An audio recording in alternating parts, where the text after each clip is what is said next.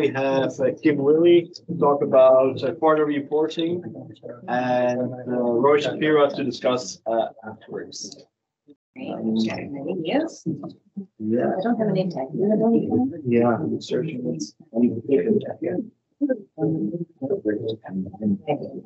Be quick. Oh.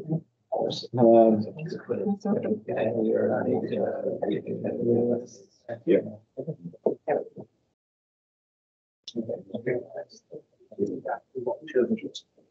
Okay, great.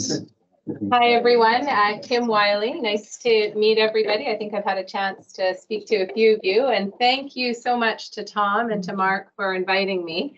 And it's my pleasure to delve a little bit further into quarterly reporting as much as the, the time will allow. It's, it's a very short time frame for a very, very big topic. And so when Tom asked me to present on this topic, I actually reached out to Marty Lipton um, just to, to get his uh, kind of initial thoughts. And, and as we all know, Marty is one of the, the, the founders of this conversation and the discussion on short-termism. He's 91 uh, these days, but is still very, very active uh, in terms of his engagement with this discussion. Um, and you know, as as we would expect, and um, you've kind of seen through the reading, uh, Marty Lipton is very firmly in the camp that there should be an end to quarterly reporting to stop the, the scourge of, of short-termism. And, and when I told him I, I would be speaking further on this topic, he told me to give them hell.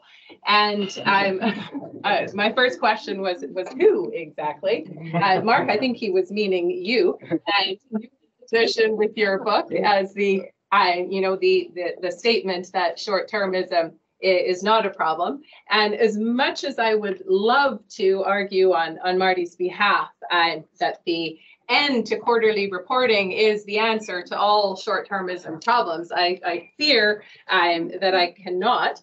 Um, and in particular, uh, because of, I think, Mark's very provocative statement, and I'm just going to quote from Mark's book here, because I think um, it's, it's a, very definitive statement. Uh, but ending quarterly reports will not have the desired impact. It is a small and bent arrow unworthy of its target. So it's a bold statement. Um, my analysis and my conclusions are not as strong. I think there is still some room for discussion in this area and, and perhaps a place for looking at quarterly reporting and whether or not it is going to be some type of solution to a problem that we see in capital markets.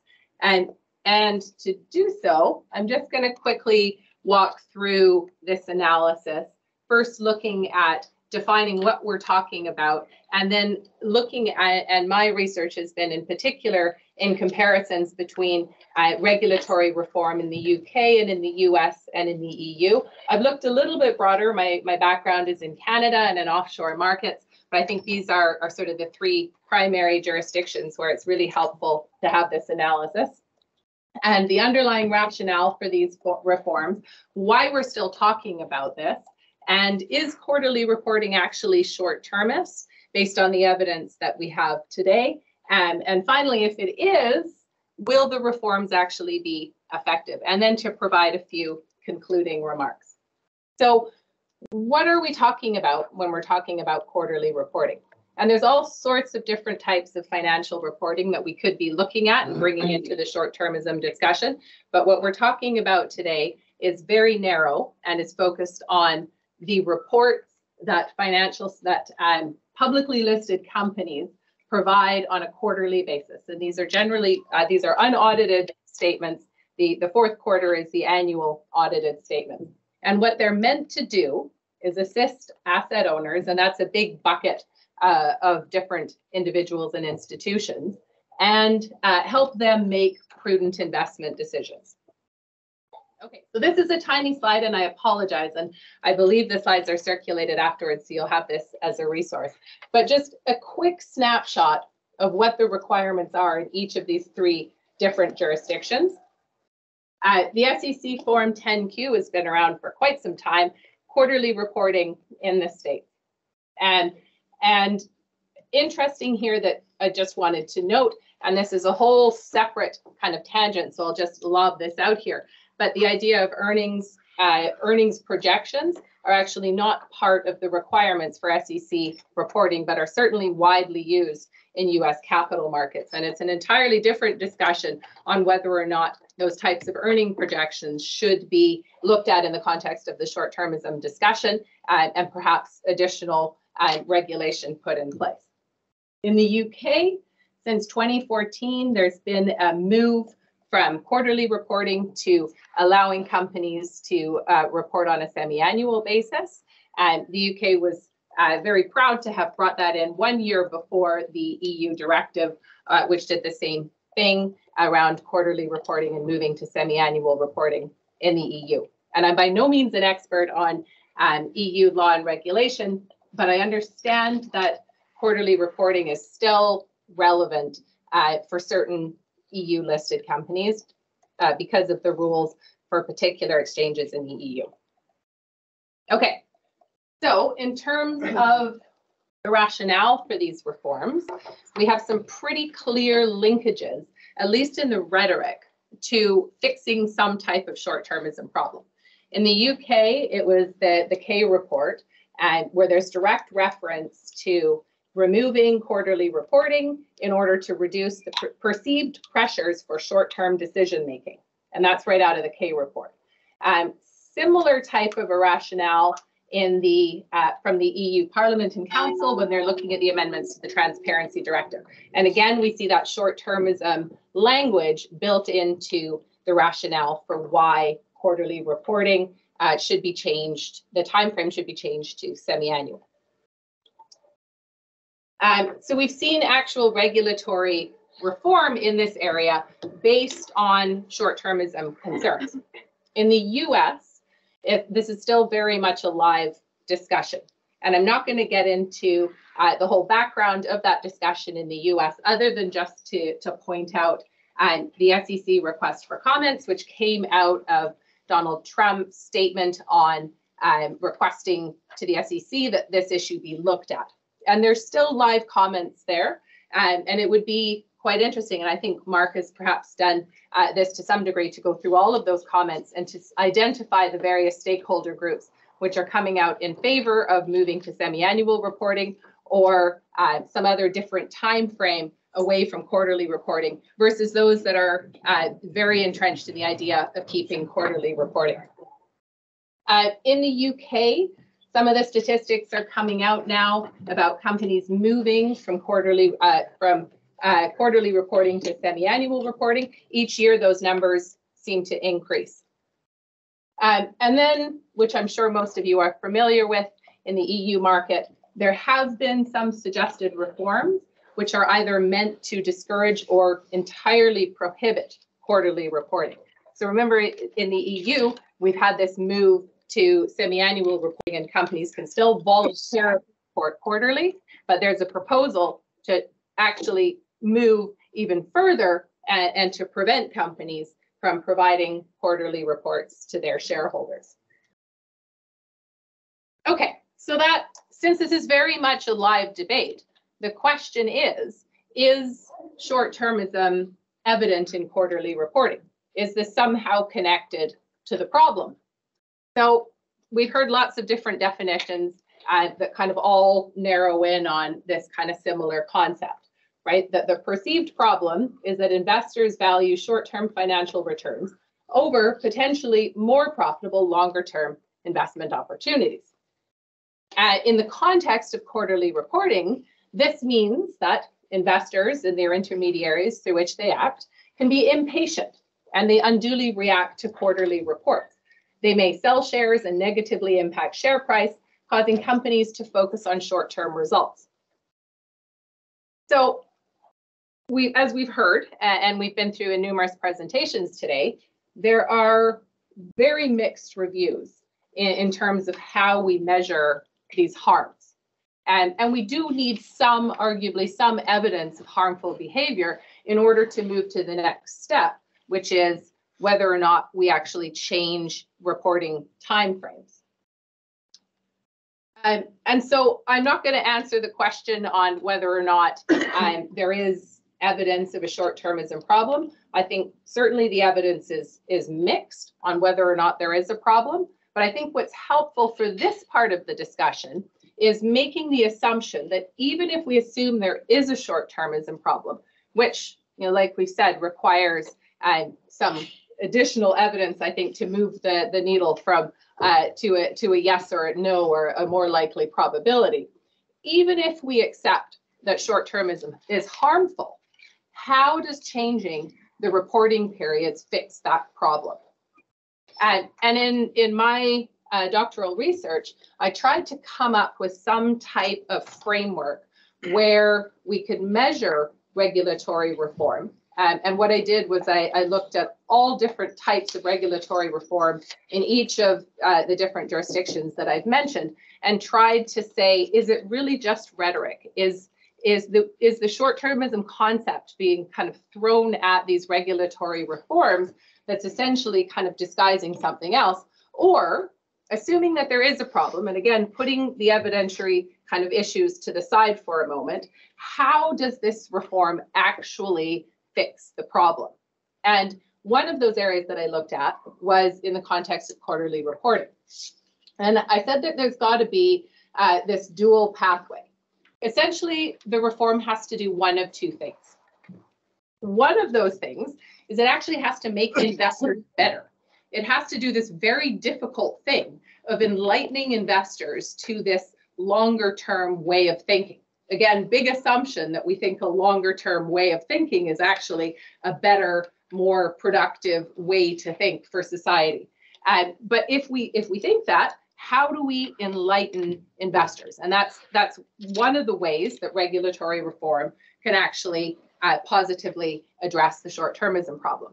The other way, if we think those short-term pressures are bad and they're harmful, we have to cut off the transmission mechanism inside the firm. And this brings us into that somewhat awkward position where we have to insulate managers and their decision making, which um, ends up with uh, that Baptist and bootlegger problem, where you have kind of two very differing types of interest groups converging on, on one particular approach that uh, traditionally you wouldn't see those interest groups actually aligning on. And, and so you either need to insulate managers and as part of that, you need to you need to tweak the compensation of managers towards a more longer term perspective.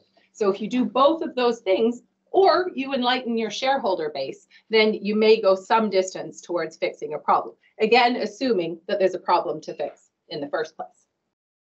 So how does this stack up against quarterly reporting and the issues around quarterly reporting? Ending mandatory quarterly reporting could potentially improve or enlighten your, your investors by forcing them to think a little bit longer term. So rather than just waiting for, you know, those, those sort of three month results, now they're waiting six months. And, but these are voluntary reforms and not being opted into certainly uh, even by a majority of the issuers in the jurisdictions in which uh, the reforms are put in place. Um, and uh, there's nothing being done to change the quality of the information that's being provided to investors. So whether or not you give that information to investors in three month period or six month period, if it's the same type of quality of information, you'll arguably end up um, with the same issues. So uh, perhaps a way, again, if we accept that there is a short-termism problem and we want to improve or enlighten investors or, or give them a little bit more time to think, then the outright ban on quarterly reporting and moving to a mandatory semi-annual period may help with that enlightenment. But that brings in a lot of assumptions uh, that definitely can be challenged. Uh, the second pathway of this is if we insulate company management, uh, which again, giving them a little bit of distance between reporting periods may do, and but in the absence of some type of um, changes to executive compensation would not be particularly effective. So um, rather than kind of providing any definitive statement here on the effectiveness of quarterly reporting, I just wanted to sum up with uh, a few concluding remarks. The first is this is very much a live debate. And uh, as, as we've seen, the hard evidence of there being a short-termism problem is inconclusive. So um, there's a lot of room for additional analysis. And I think we also have a really interesting opportunity. When we started talking about short-termism uh, in depth, you know, five, ten years ago, we didn't have a lot of regulatory changes that purported to be driven by short-termism. Now we do. We have this end to quarterly reporting and optional uh, semi-annual reporting in the EU and the UK, and companies choosing one route or another, which gives us a, um, a, a sort of lens to look at this issue on uh, you know a particular firm by firm basis. Obviously, uh, there's potential issues there because it's quite difficult to to make um, you know statements about the harms as a whole when we're just looking at sort of a, a piece um, of the uh, of the activity within a in a firm. Um, the other important point to make is that we cannot look at timing of quarterly reporting without looking at the quality of corporate reporting. So what goes into the reports is arguably just as important as the time frame uh, with which it's produced. And so in the meantime, uh, there may be some really good reasons why uh, why we don't want to continue with quarterly reporting. In my my private practice as an M&A lawyer, I hear from companies all the time about the pressures of providing information to shareholders on at sort of an ongoing basis and the increasing costs associated with doing so. But cost reduction is a completely different policy point than short-termism. It may be equally valid, and if that's what we mean when we're talking about reducing quarterly reporting and moving to longer timeframes, then let's talk about it in those terms. Let's talk about it in terms of reducing the costs to listed companies. And, and as part of that discussion, we need to also think about if we do reduce um, the reporting periods, what are going to be the overall costs of doing so? Are there going to be issues around shareholders then bringing their own perceptions in um, into you know what they think is going on with the firm? Are there going to be concerns then that um, shareholders may uh, not be able to adequately judge what's happening uh, within a company or, or, pick up some potential liquidity issues or, or larger issues um, involving the company. So unfortunately, um, I, I couldn't give you hell about this. And I think we, we've landed in a position with quarterly reporting where there may be some very valid policy reasons to look at changing reporting periods, but short-termism isn't top of the list. Thanks so much, Tom. Thanks, Mark. Thanks, ECGI, for putting up this conference. And like Theo, I think I'm going to veer from the uh, norm in academic conferences of trying to pick holes in the, the paper that, that I'm discussing, uh, partly because I think the team did a great balanced job in laying out the issues and trying to fight uh, corporate short-termism through reducing the frequency of reporting. What I want to do is to spotlight the dimension that I think is lurking underneath everything that we discussed here. And uh, this is the political economy dimension. So if you recall Mark's uh, keynote from the beginning of the day, four dimensions, uh, is there a short-termism problem? The cure, does the cure fit the issue? So in focused on one, two, three, mainly three, I'm going to focus on four, the political and psychology aspects of trying to reduce corporate short-termism via reducing the frequency of reporting. So I think we should start discussion with this. Okay. Ask yourself, when was the last time you saw a presidential tweet about a corporate governance issue? there are many corporate governance issues that are important, like uh, uh, controlling shareholder transactions and protections or appraisal rights, but you never see a president tweeting about MFW or majority of minority requirements, right? So why this? Okay, and it's not just Trump. You can dismiss it by saying it's Trump, but Jesse already named names, and Mark already used the uh, Joe Biden Wall Street Journal example. So I won't elaborate. I'll just ask, why is this so salient? We saw in Zacharias' keynote that this channel, in this channel, the evidence is mixed at best, right? There are other channels where the evidence is relatively stronger. So why is this channel so widely believed and so salient in the public agenda, in the media agenda, even in the political agenda? And I think it's because it's more politically palatable, right? It makes more sense evidence-wise to focus on like the quality of reporting instead of the timing of reporting, or to focus on executive compensation, like we heard, instead of the frequency of reporting, right? But focusing on these other issues is more, is politically harder, right? You would go, you would alienate strong players, right? By fighting for reducing the frequency of reporting, you can build coalitions with these strong players. The Trump tweet, the way that he tweeted it, the way that it was covered in the press, was about, I don't blame the CEOs. It's not their fault. Biden actually says so explicitly in the Wall Street Journal op-ed. He says so explicitly, I don't blame the CEOs, period. Okay? And when Mark and I tried to check who, who were the ones that are that originated these narratives and these ideas and who are, are spreading it now, we saw that these are usually the top consultants doing management. Martin Lipton coined the term short-termism in 1979, has been spreading it ever since. Give them hell.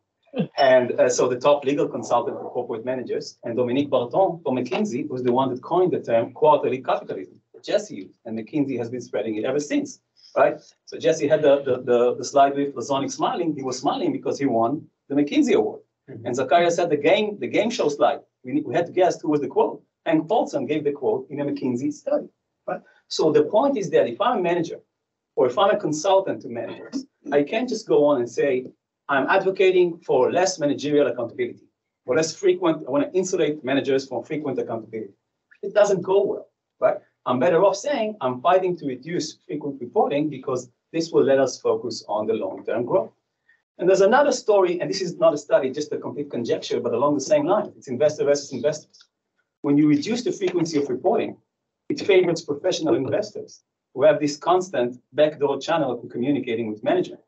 So this might be the best explanation of why we see these very different views between investors' bodies in the UK versus investor bodies elsewhere in the world. Again, just to conjecture, you could say that investment bodies in, in the UK, big institutional investors have these professional relationships, engagement with management of listed companies that allow them to compensate for less frequent reporting. They don't need it. Elsewhere in the world, you would usually see investors' bodies going against reducing the frequency of reporting. In fact, it's even more than that. It allows you to bring even more people on board, broader coalitions, not just investors and managers, also workers and environmentalists. Right? If you look at the stated rationale for the EU regulation that Kim discussed, this is to encourage sustainable, right? Sustainable value creation. Sustainable is the mother of all narrative. Who can object to? Right? And shareholders are hearing this and they're thinking, great, so reducing the frequency of reporting will prevent the company from hurting me. And stakeholders are hearing it and saying, great, reducing the frequency of reporting will prevent the company from hurting others. Right? But the smart already kind of drove home the point. It's a question of who pays rather than when they pay. It's an externality issue.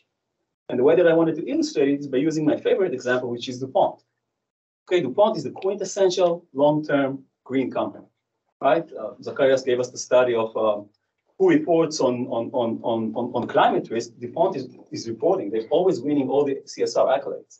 But at the same time, they were also embroiled in one of the most disastrous environmental debacles of our time, when for six decades they emitted a highly toxic chemical, PFOA, to the environment while making Teflon. So people inside DuPont knew in real time that the chemical was highly toxic and that it is uh, bioaccumulative and biopersistent meaning that it doesn't break in the environment, never breaks in the environment, and it builds in our blood. Our body cannot get rid of it. Yet they still opted to continue. So how can such a bad corporate behavior happen to such a good company? So Luigi Zingales and I uh, did a study, and we showed that it kind of pays for long-term shareholder to pollute like that. If you held DuPont stock for 60 years, you greatly benefited from the long-term 60 years pollution. Okay, and the point is that if you want to fight, not like, like um, environmental degradation, DuPont was not fixated on financial reporting. DuPont was not bothered by hedge funds activists at the time. Right? If you want to do something like that, you better fix it through, say, incentivizing whistleblowers from inside the company to come out and to fix the extreme information asymmetries that exist with such toxic chemicals, or change the regulation in some way, not through reducing the frequency of financial reporting. Want to end with this. it could be that in two thousand twenty-three, it's kind of anachronistic to talk about quarterly reporting. Okay, because we're seeing companies moving to constant reporting through dashboards, constantly pushing information to the market. And we're seeing short sellers uh, using AI to target companies for even a slight delay in pushing data to the market, right? So I don't think that frequent reporting is going to go away anytime soon.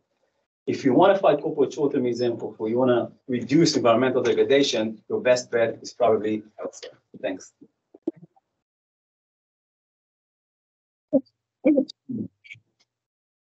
Okay, great. Uh, Kim, do you want to react first or? Uh, no, but it is an interesting point on AI, and we were speaking about that before the presentation on whether or not really this is outdated, this idea of quarterly and semi-annually, if, if really what we should be talking about is daily reporting or live time reporting. Nano reporting. Yes, well, and it, it brings into the discussion about a, a lot of the reporting that corporations do, including earnings projections, is voluntary.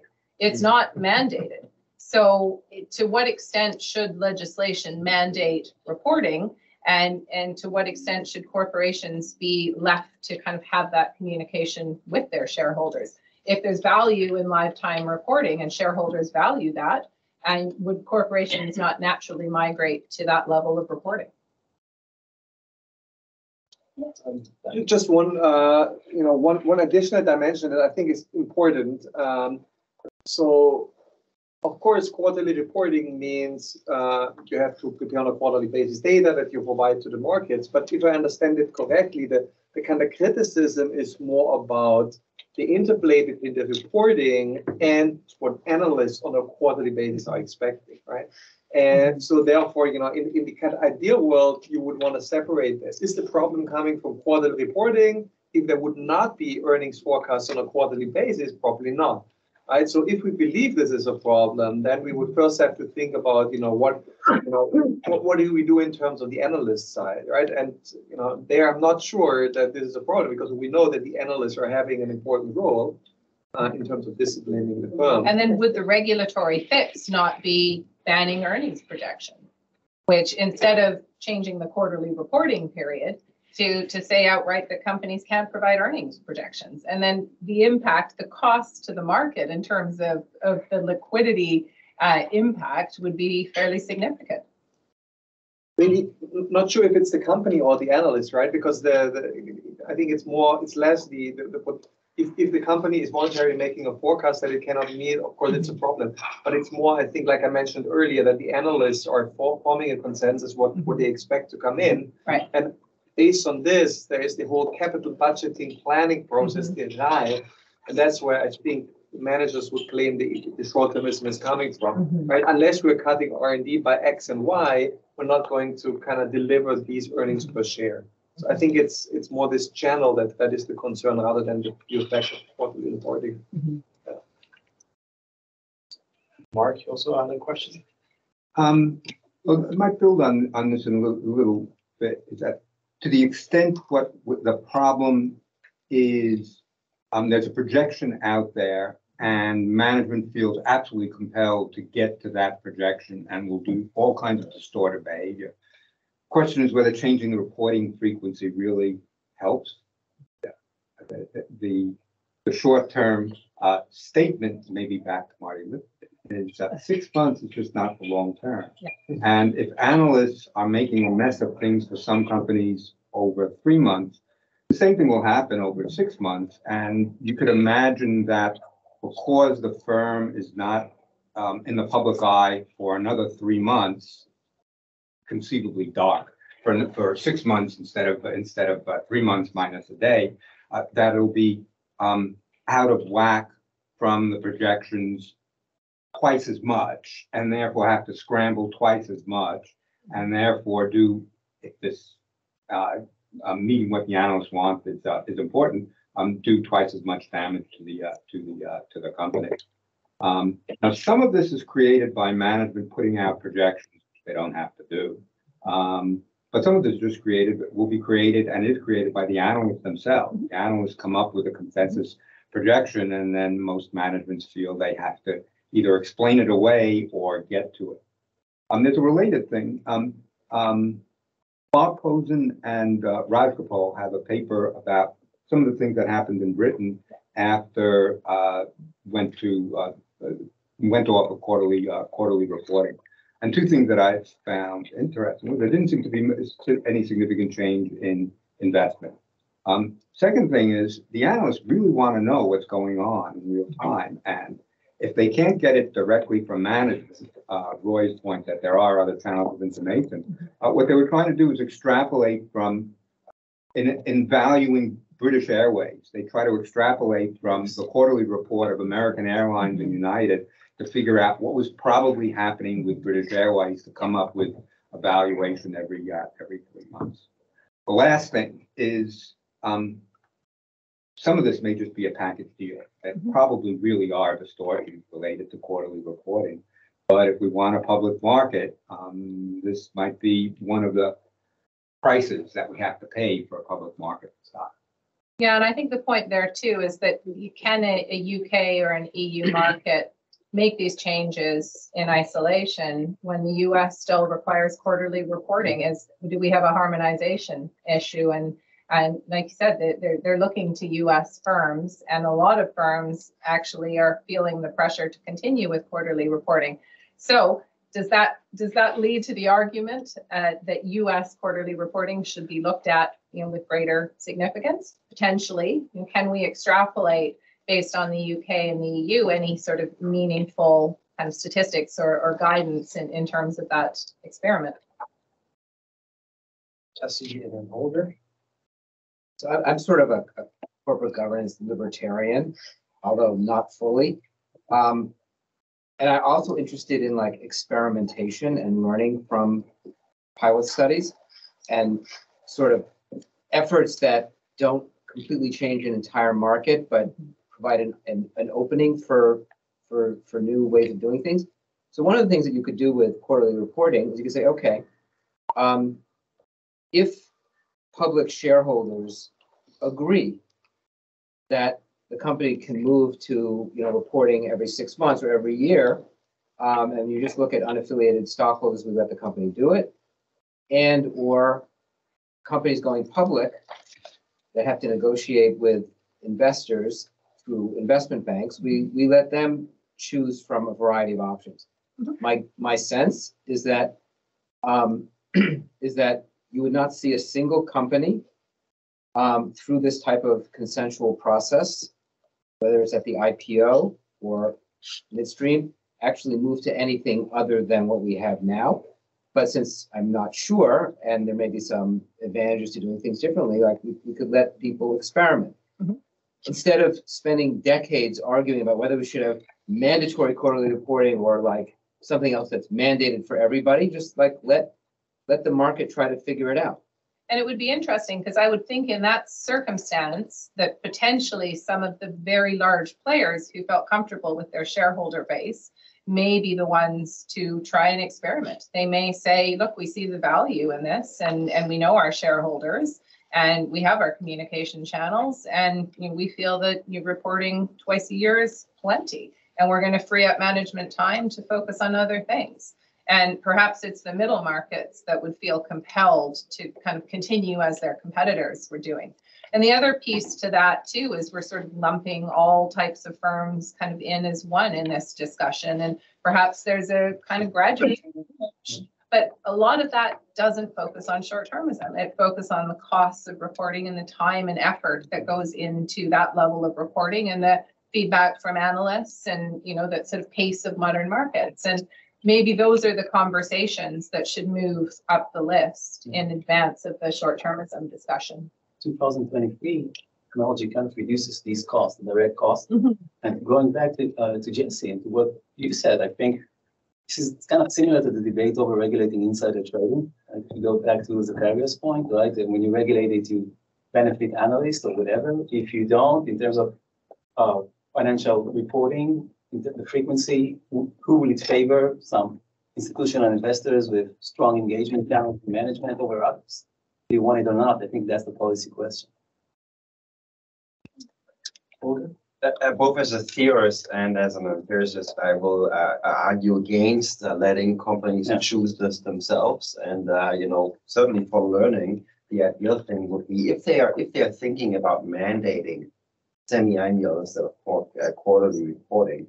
Probably gathered I'm a libertarian also in many ways. Um, they should mandate it only for half the companies, at least in a particular segment, force the other ones to maintain the quality. Why that? I mean, obviously from an empirical point of view, then we'll really learn uh, what works.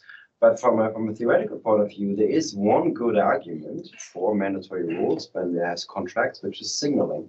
And I think, um, not sure that certain companies would move to semi-annual because even though they might think it would be better if everybody did that, making that step, it really depends on expectations, but it could be that it's a signal that people are worried that only the weak will do that, and that a strong company, even though they think it's harmful for them uh, in isolation, um, they can they, they can deal with it, and they don't want to be seen as weak, and so we'll get a weird selection of companies that does it, and maybe nobody will do it, even though it will be good for everybody. So uh, if one is worried about it, I think one should force companies to do it, and ideally, to learn, we should force only half. All the, isn't the uh, signaling challenge, let's just say they work backwards in a sense Yes. of, like the cost is signaling and company handicapping itself. Saying The, the direction in which it works is Right. not clear. Right. Uh, that- that you have a, that- yeah. You'd need, you'd need a, a, a very bold business leader. It's a shame Elon Musk is out of the game because he, he might just have his own vision or, you know, a type of leader that would decide, I, this is something I see valuable to me, my shareholders, as Yeah. opposed to weighing a lot of other externalities. indicate there in in this Porsche in Germany, because there is actually a choice depending on which segment you're in. There's an- semi-annual or quarterly, and then uh, so Porsche was moved to the bigger index. And then uh, Wiedeking back then said, we're not gonna do it, we're not gonna do quarterly. And he explained it to the shareholders, but he was sued then uh, because of the stock exchange requirement and then, you know, forced to do this. But so there is some, some, some, some choice, but still, if you choose to stay in this index, there's still a signaling issue uh, that Holger pointed out. I'm gonna also ask a question to you, Kim. Um, I was wondering, like I mentioned in my presentation, that quarterly reporting, banning it or reforming it probably wouldn't make that much of a, a difference uh, if you have a controlling shareholder. Um, what do you think of, of, of that statement? Because as I understand your point of view, well, changing reporting frequency would mainly about, be about educating institutional investors. So if you have a controlling shareholder, that doesn't really matter much anyway, I would think. What do you- what do you- Yeah, and I think in your presentation, you did a really great job of outlining that all controlling shareholders are not alike. Mm. And I think that comes down to what are the intentions of a particular controlling shareholder?